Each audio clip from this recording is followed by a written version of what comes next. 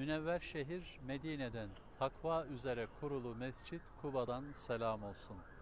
Güzel insanlar yolunuz Münevver şehir Medine'ye düştüğünde mutlaka bu mescide gelin.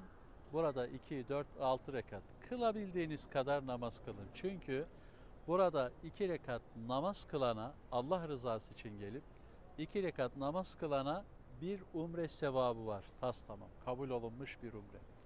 Cenab-ı Allah Kur'an-ı Kerim'inde bu mescit için takva üzere kurulu mescit buyuruyor. Buranın ilk yapıldığında Peygamberimiz bizzat kerpiç taşımış. Ön tarafta mihrabın orada namazını kılmış aleyhissalatu vesselam Efendimiz. Biz de Münevver şehir Medine'ye geldi mi geliyoruz Kuba Mescidine namazımızı kılıyoruz ellerimizi açıp Ya Rabbi Allah Resulü aleyhissalatu vesselam şu mekanda ellerini açtığında onun sahabesi ellerini açtığında senden neler istediyse aynısını biz de istiyoruz. Bize de ikram eyle Allah'ım deyin.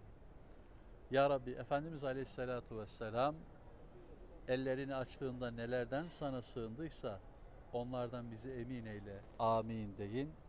Burada Kuba mescidine girsem Namazı kılıp dua etsem Gelip muradıma ersem Çağır geleyim Medine'm Diyorum ben siz de muhabbetle dolun. Allah'a emanet olun.